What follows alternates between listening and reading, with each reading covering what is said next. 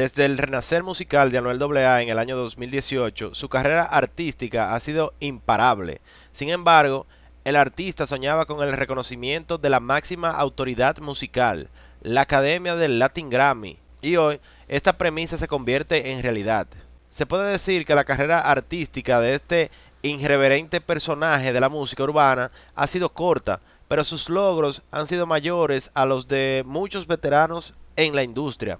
Por primera vez en su historia, Anuel fue nominado al Latin Grammy en las categorías Grabación del año con China, Mejor Nuevo Artista, Mejor Fusión e Interpretación Urbana con China, Mejor Álbum de Música Urbana con Emanuel, Mejor Canción de Rat, Hip Hop con Baile de Dinero y Medusa, y Mejor Canción Urbana con Adicto. Siento que he vivido toda mi vida para llegar a este momento. Soy inmensamente feliz por estar nominado.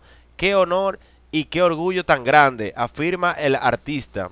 La vigésimo primera entrega anual del Latin Grammys se realizará el próximo 19 de noviembre, tomando en cuenta todas las medidas de seguridad para evitar el contagio del COVID y se transmitirá, como cada año, a través de la cadena Univisión. Recordando que el año pasado Anuel AA arremetió fuertemente contra la academia tras ser el máximo ganador en los Lati Amas. Sin pensarlo dos veces, el reggaetonero boricua aseguró que no necesita de la academia para ser exitoso.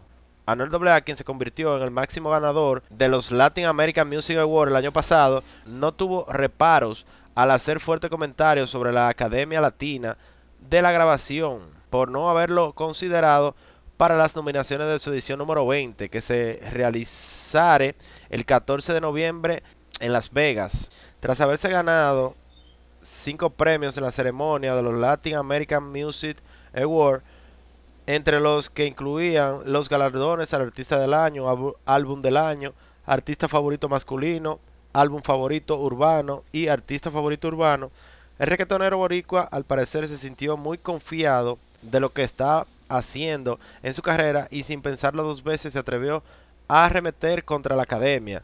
Yo no necesito el apoyo de la academia para poder ser exitoso en la vida, dijo tras bastidores y en exclusiva a Los Angeles Times en español. El artista boricua dijo además, y en tono muy serio, que, que se le hace extraño que artistas como Romeo Santos, que lleva casi 20 años de carrera y es el dios de la bachata y es el artista más exitoso en la historia de la música hispana y él tampoco se ha ganado un Grammy, yo siento que eso no hace falta, dijo respectivamente. Con un tono de soberbia agregó que como es posible que yo no esté nominado, ¿Cómo es posible que yo no esté nominado? Bad Bunny, una nominación, o una nominación de Ari Yankee y otros artistas que, con respecto a su nominación, y otros artistas siendo reales, no son igual de grandes y tienen un montón de nominaciones, y yo ya ni pienso en eso, en verdad, agregó. Agregó el intérprete del tema por ley en esa ocasión, que llevaba más de 50 millones de vistas en YouTube en apenas cuatro meses de haberlo lanzado. Sin embargo, este intérprete de género urbano y novio de la también reggaetonera Carol G, ganadora de un Latin Grammy, al parecer se olvidó que las visitas en YouTube y los llenos en concierto no son parámetros que la academia considera para la elección de los candidatos a las nominaciones del Grammy sino que son los miembros de la academia, músicos, productores, compositores y gente vinculada a la industria musical, los que votan para escoger a los postulantes en cada categoría. Cuando le preguntaron a Anuel sobre posible sobre el futuro con la academia, dijo conmigo no cuenten para nada. Agregó también que ellos, la academia, tienen una forma de pensar y yo la mía. La mía me está dando mucho dinero y mucho éxito. Y a a mí, a Bad Bunny, a Ozuna y a Yankee y a otras personas que fueron bien poco nominados y los que no fueron nominados, eso es lo que importa ya. Eso es lo que importa ya.